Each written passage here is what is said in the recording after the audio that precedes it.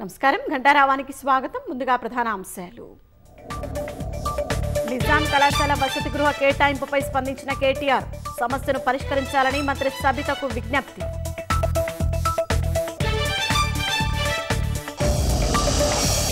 CPI రాష్ట్ర కార్యాలయానికి తెరాస నేతలు వామపక్ష నాయకులతో పల్లా బాల్కా సుమన్ భేటీ.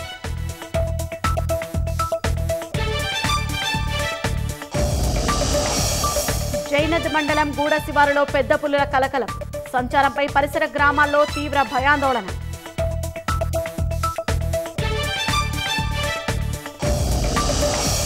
నాలుగేళ్ళ తర్వాత లా కమిషన్ను నియమించిన కేంద్రం చైర్పర్సన్గా కర్ణాటక హైకోర్టు మాజీ సీజే జస్టిస్ రితురాజ్.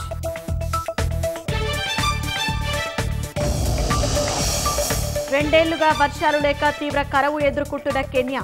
ప్రజలతో పాటు అధిక సంఖ్యలో ఏనుగులు మృత్యువాత.